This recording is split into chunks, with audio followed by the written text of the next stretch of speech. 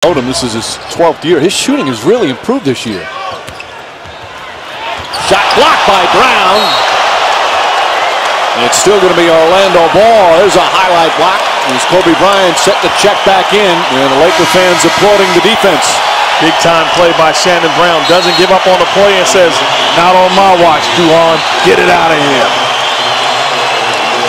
Get that shot out of here.